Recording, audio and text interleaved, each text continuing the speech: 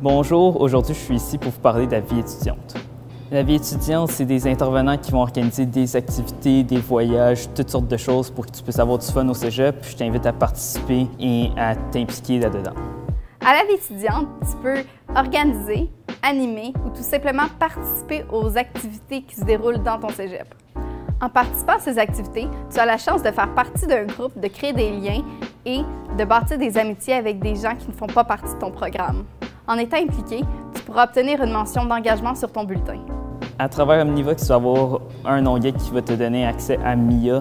MIA, c'est la place où tu vas avoir accès à toutes tes activités étudiantes, à toute ta vie étudiante. Puis c'est là que tu vas pouvoir t'impliquer dans des clubs comme le club de Donjons et Dragons, le comité vert, le comité LGBT, tout ce qui pourrait te tenter de faire. Si tu as besoin de plus d'informations ou tu as des questions, tu peux aller sur le site du Cégep pour aller chercher toute l'information.